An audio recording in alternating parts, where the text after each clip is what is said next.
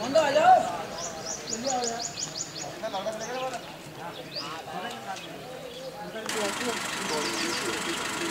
अरे हवा दिया वो ये और है वो स्पेस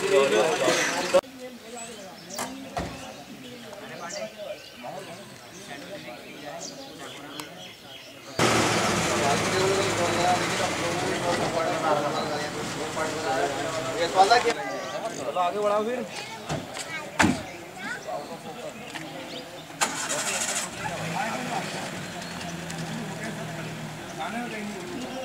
कॉर्बेट नेशनल पार्क का जो रामनगर से कोटद्वार को रास्ता जाता है, वहीं पे मैं अभी खड़ा हूँ। आप देख सकते हैं कि ये यहाँ पे जो झिरना रेंज है, उसकी एंट्री यहाँ पे होती है। लगभग छः बजे का सुबह का समय है अभी।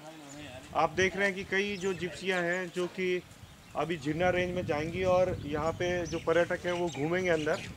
लेकिन यहाँ पे सबसे बड़ी जो बात है, लगातार ये प्रयास हो रहे हैं कि इस रास्ते को खोला जाए। ये कंडी मार्ग है और यहाँ से जो कोटद्वार आप जाएँगे तो लगभग 80 से पिचासी किलोमीटर जो पड़ता है, वो सबसे शॉर्टेस्ट है कुमाऊँ से गढ़वाल जाने के लिए।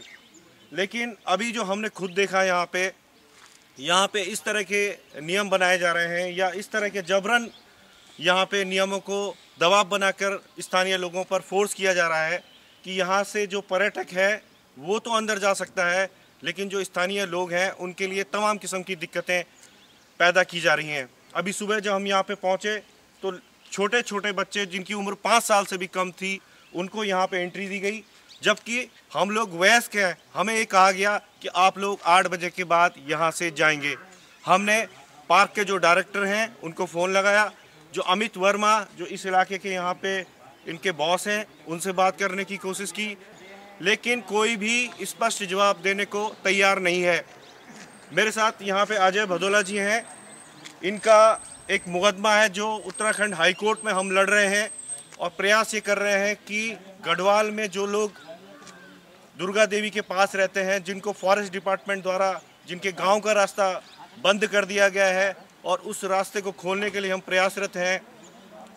इनको किस तरह से परेशान किया गया और आज हमने खुद सुबह यहाँ पर देखा कि किस तरह से फॉरेस्ट विभाग है जो और कॉर्बेट नेशनल पार्क के जो अधिकारी हैं, वो लगातार इस तरह की कोशिश कर रहे हैं कि ये रास्ता न खुल सके और यहाँ से जो गढ़वाल के क्षेत्र में पर्यटन का कारोबार किया जा सकता है, उसके रास्ते बंद हो जाएँ। बदौलत जी, क्यों होता है सब कुछ?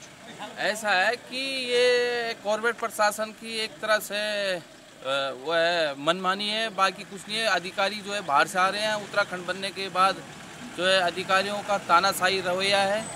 जो ग्रामीण प्लान हो रहे हैं, वो कारण यही है। विकास के मामलों में भी ये इसी तरह से रोड़े अटकाते रहते हैं। और एक तरफ़ सरकार कहती है कि प्लान हो रहा है, दूसरी तरफ़ जो है अधिकारी ग्रामीणों का शोषण करते हैं और इसकी उचित जाँच होनी चाहिए, जबकि कॉर्बेट के गिर्द क्षेत्र में सारे होटल रिजॉर्ट खड़े हो रखे और सारे बाहर के लोग हैं। जबकि यहाँ का कोई भी व्यक्ति जो है, अगर कोई काम भी करता है तो उसका इसी तरह शोषण होता है, क्योंकि वो गरीब गुरबे लोग होते हैं, उनके पास पैसे खिलाने के लिए पैसे नहीं होते इनके पास। तो इसी कारण से जो है ये आए दिन इसी तरह से शोषण करते रहते हैं। और ये अपना जो है कानून चलाते हैं और ये कानून जो है इनका मतलब गुंडागर्दी है एक किस्म से। भाई कुछ नहीं, मैं ये सरकार से निवेदन करूँगा, इनकी जाँच होनी चाहिए। अभी आपने देखो हाल की घटनाओं में आग लगी जिसमें कि पूरे गढ़वाल कुमाऊं में आग लगी, लेकिन ये कहीं भी जो है उसमें वो नहीं है, सुरक्षित नहीं है। बिल्कुल सही कह रहे हैं भदौला जी, परसों जब हम इस रास्ते अंदर गए तो जो इनका कालागढ़ का जो गेट है, उसके पास इन्होंने हमें बोला कि आप अपनी गाड़ी का आरसी लेके आइए। जबकि जंगल के अंदर कोई भी वाहन चालक अपनी आरसी की फोटोकॉपी कहाँ से देगा? हमने इनको आरसी दिखाने की कोशिश करी, हमने इनको पूरे डॉक्यूमेंट ओरिजिनल दिखाए तो इन्होंने जंगल के अंदर हमें आरसी मांगी गाड़ी की कि फोटोकॉपी ला के दीजिए। मतलब आप समझ सकते हैं कि इस तरह की परिस्थितियाँ पैदा करते हैं कि यहाँ पे स्थानीय लोग आ ही ना सकें। तो आप समझ सकते हैं कि चाहे उत्तराखंड सरकार कुछ भी बात कर रही हो कि पलायन को रोकेंगे, पर्यटन को बढ़ाएँगे, स्थानीय लोगों के लिए रोज़गार पैदा करेंगे लेकिन जब तक इस तरह के अधिकारी कॉर्बेट नेशनल पार्क में मौजूद हैं, जो नहीं चाहते कि यहाँ पर पर्यटन का विकास हो, स्थानीय लोगों को रोज़गार मिले, तब तक ये संभव नहीं है।